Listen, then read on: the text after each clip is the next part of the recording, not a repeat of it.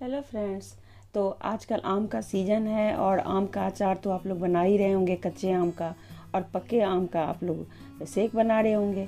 लेकिन एक आम और भी होता है जो हम लाते तो हैं अचार बनाने के लिए, लेकिन वो पका हुआ निकल जाता है। फिर उसको क्या करें तो उसको हम लोग फेंक देते हैं। तो ऐसे आमों को आप फेंके नहीं, जो आधे कच्चे, आधे पक्के वाले आम होते हैं, उन आमों को आप ना फेंके उनसे एक रेसिपी बनाएँ, जो मैं आज आपको बना करके दिखाने वाली हूँ। आई होप कि आपको ये रेसिपी पसंद आएगी। और पसंद आए तो ज़रूर लाइक शेयर सब्सक्राइब कर दीजिएगा। और ये रेसिपी बहुत ही अच्छी लगती है।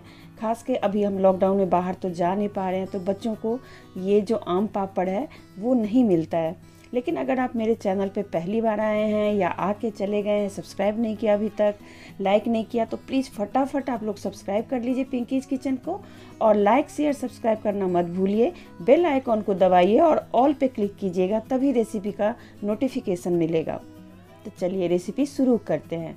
ये देखिए, ये आम जो है ना, वो मैं लाई तो थी अचार बनाने के लिए, पर ये थोड़ा सा ऐसे फटा हुआ है, थोड़ा कटा हुआ है और ख़राब तो नहीं है, पर कटा हुआ है और ऐसे देखिए कुछ दाग से हैं।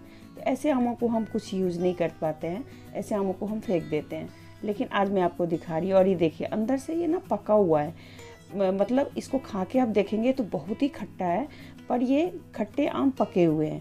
तो सोचिए कैसा आम होगा। तो ऐसे ही आम को आज मैं फेंकूँगी नहीं, इससे एक रेसिपी बनाऊँगी। तो पहले छील लिया, काट लिया और काट के देखिए इस तरीके से इसका गुदा निकला।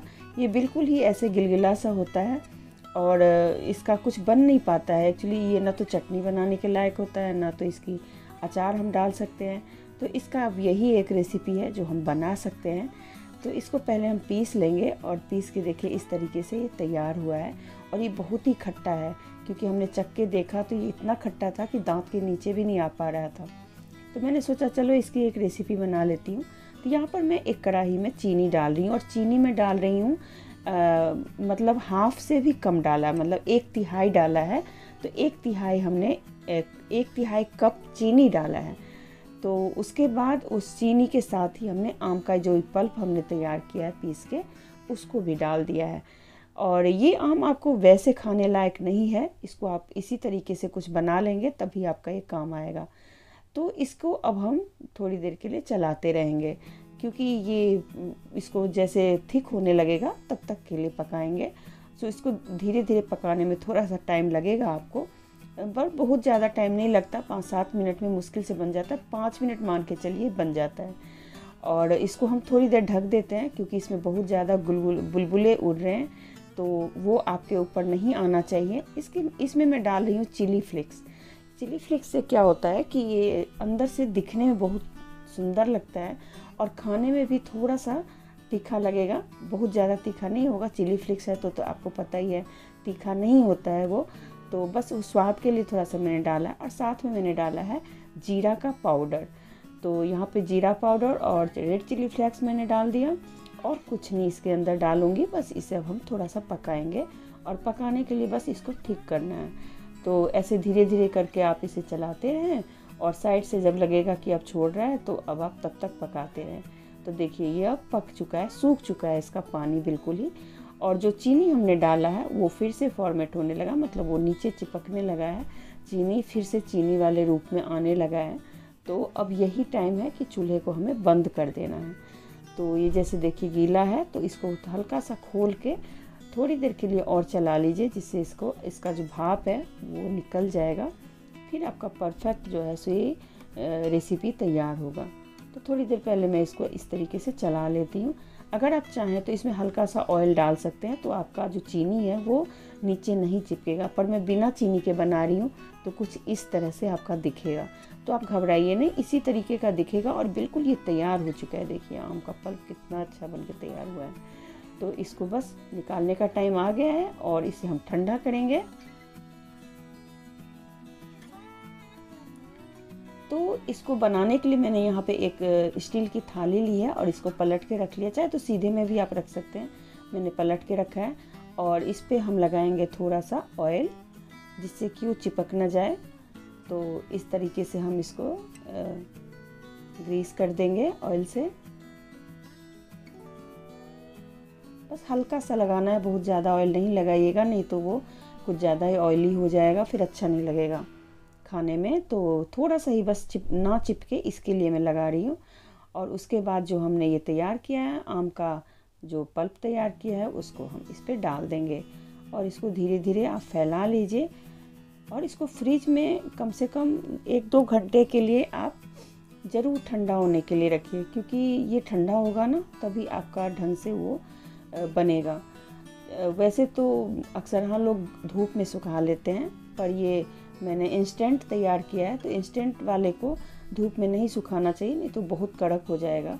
तो इसको चाहे तो पंखे की हवा में ठंडा कर लें, या फिर फ्रिज में थोड़ी देर के लिए रख देंगे तो बिल्कुल ही सेट हो जाएगा ये। तो इस तरीके से इसको एक लेवल में आप फैला लें, एक बराबर हिस्से की तरह मतलब बिल्कुल ही बराबर बराबर हो। और इस तरीके से इसको फैला लें, जितना पतला बन सकता है, उतना पतला आप बना लें।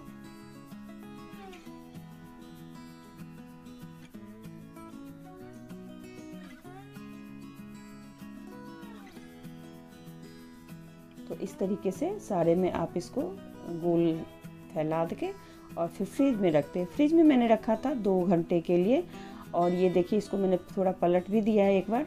और इस तरीके से ये दिखेगा। कितना बिल्कुल क्लियर ग्लास की तरह दिख रहा है क्रिस्टल दिख रहा है बिल्कुल। तो इसको अब हम क्या करेंगे? एक्चुअली साइड से थोड़ा सा सेप नहीं है तो साइड से थोड़ा थोड़ा कटिंग कर देंगे। आ, मेरे पास वो कट करने वाला है पिज़्ज़ा कटर है। तो मैं उससे कर रही हूँ। आप चाहें तो चाकू से भी कर सकते हैं। और चाकू से साइड वाले हिस्से को आप काट दें। जिससे कि वो बराबर बराबर शेप में लगे आपका। तो ये इंस्टेंट जो हमने बनाया है, आम पापड़, शायद आप लोगों को पसंद आने वाली है। और पसंद आए तो लाइक शेयर सब्सक्राइब ज़रूर कीजिएगा। कमेंट कीजिएगा कि मैंने कैसी रेसिपी बनाई है। तो चलिए इसको चारों तरफ़ से मैं पहले काट देती हूँ। बराबर बराबर काट देना जिससे कि वो थोड़ा सा सीधा लगे। और उसको फेंकना नहीं है, संभाल के रखना क्योंकि बच्चों को ये बहुत पसंद आती है। तो वो ज़रूर आप बच्चों को खिला दें। और इसको इस तरीके से मैं चौकोर चौकोर काट लेती हूँ, बराबर बराबर हिस्से में काट लें। मैंने जैसे काटा है तो एक हिस्सा मेरा थोड़ा सा ज़्यादा हो गया, आप चाहें तो तीन हिस्से में बराबर काट लें। और फिर तो दो तो हमारा एक जैसा बनेगा और दो छोटे वाले बनेंगे। उससे कोई फ़र्क नहीं पड़ता। आपका जो ये आम पापड़ है, ये देखिए, इस तरीके से मैं इसे रोल कर रही हूँ। इस तरीके से अगर आप रोल करके रख लेंगे तो जब भी खाने का मन करेगा तो आप इस तरीके से उठा के और बिल्कुल इसको इस तरीके से खाएँगे। देखिए कितना सुंदर लग रहा है। बहुत सुंदर लगता है ये। तो ज़रूर आप लोग भी बनाइएगा और खाइएगा और इस तरीके से आम को फेंकिएगा नहीं। जो आम आ जाते हैं आपके घर में, सड़े हुए आम तो फेंकने ही पड़ते हैं। लेकिन उस तरीके के आम जो गर्मी से पक जाते हैं तो उस उन आमों का आप इस तरीके से खट्टा मीठा आम पापड़ बना सकते हैं। बहुत टेस्टी बना है और आई होप कि आप लोगों को भी बनाने का मन करेगा। चलिए मैं इसको रोल कर लेती हूँ अच्छे से।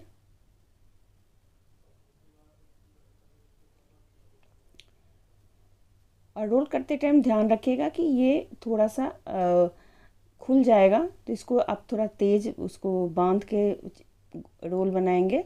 तो बहुत अच्छा रोल बनेगा। तो इस तरीके से आप बना लें सारे को और फिर इसको फ्रिज में रख दें, किसी डब्बे वगैरह में पैक करके और जब भी बच्चों को खाने का मन करेगा तो आप निकाल के या आपको खुद खाने का मन करेगा तो आप निकाल के कट करके खा सकते हैं या ऐसे भी खा सकते हैं। तो ये देखिए, तैयार हो गया। और चलिए, मेरी वीडियो अगर आप लोगों को पसंद आ, आई है तो ज़रूर लाइक शेयर सब्सक्राइब कीजिएगा। मैं उम्मीद ही कर सकती हूँ। और बस, ये देखिए, ये क्रिस्टल आम पापड़ तैयार है। और लीजिए, आप लोग भी इंजॉय कीजिए। फिर मिलूँगी मैं किसी और रेसिपी के साथ। और तब तक के लिए बाय बाय और जो हमने काटे थे अलग से, उनको भी आप रख लीजिए। वो भी बहुत अच्छे लगेंगे, क्योंकि सिर्फ़ कटिंग करके निकाली है तो उसको भी आप प्लेटिंग कर सकते हैं। और फिर मिलते हैं।